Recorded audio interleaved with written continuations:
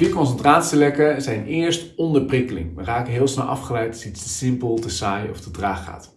Het tweede concentratielek is dat we te weinig brandstof hebben. Wanneer we onze hersenen te weinig of verkeerd opladen, lopen ze heel gauw leeg als het ware, waardoor we continu worden afgeleid.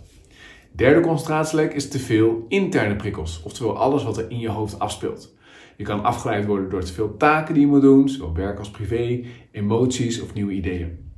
En de laatste en vierde concentratielek is dat we afgeleid worden door te veel externe onderbrekingen, dus e-mail, telefoon en chatverkeer.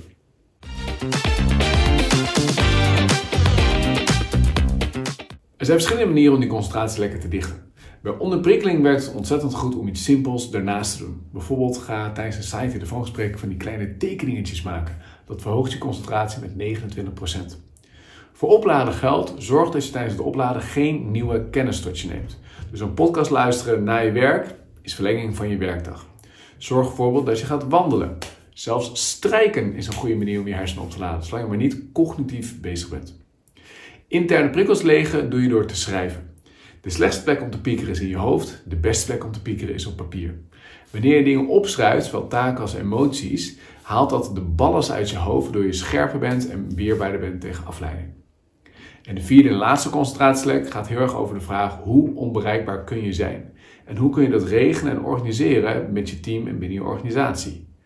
Dat verschilt heel erg per doelgroep. Iemand in sales heeft een andere bereikbaarheidsbehoefte dan iemand die onderzoek doet of schrijver is. Maar daar serieus naar te kijken en onderzoeken binnen je organisatie wat daar mogelijk in is, is een hele belangrijke stap.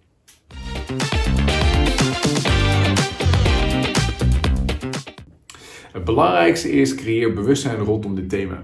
Afleiding is een enorme stressor en ondermijnt werkgeluk, werkplezier en verlaagt ook de productiviteit. Dus zorg dat mensen bekend worden met deze basisprincipes waardoor die stress en afleiding ontstaat. Dit zorgt voor een gemeenschappelijke taal en dat maakt het ook makkelijker om op organisatieniveau hier beleid op te maken en afspraken hierover te maken. Ultieme tip om nog meer focus te hebben is de plus 5 regel. Die is ontzettend simpel en die gaat als volgt. Elke keer dat je uit jezelf merkt de behoefte om te gaan wisselen, zeg je tegen jezelf dat mag over 5 minuten.